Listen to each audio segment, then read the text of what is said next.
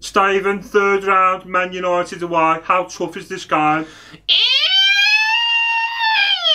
Of course.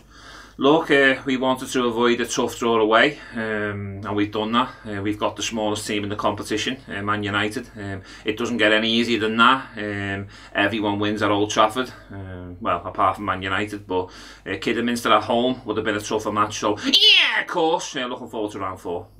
Rafa, no trophy in 26 years. How strong will your lineup be against Hull City?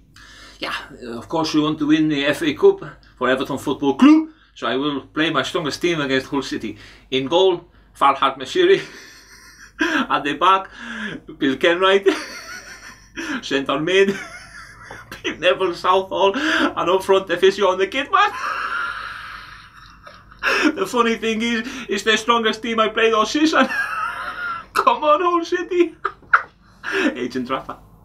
Wayne, how important is the FA Cup to Derby County? Yeah, um, look, I think that um, I think obviously the FA Cup's a great competition, and, and hopefully we can go and beat Coventry, but it's always difficult against the French teams. Um, but luckily, hopefully we can win this third round match and get the three points and get through to round two, and hopefully we can go on to win the Champions League again.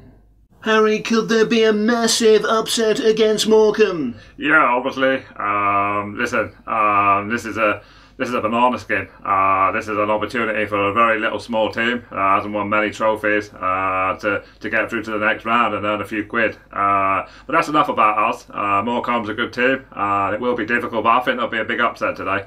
I really do. Yeah, I think we'll win. Yeah, obviously.